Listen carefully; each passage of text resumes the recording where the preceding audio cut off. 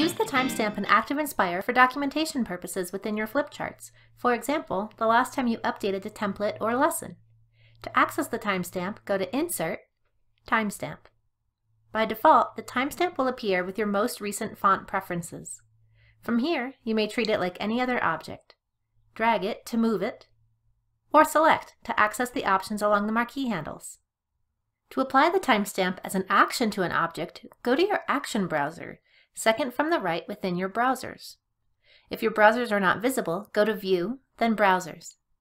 Under Command Actions, select Timestamp, then Apply Changes. In presentation mode, a play icon appears when you hover over the object, indicating the action is live. You can also add a timestamp to all new flipchart pages created by going to File, Settings, then Flipchart Objects, and select Add Timestamp to all new pages created. Click Done when you have finished.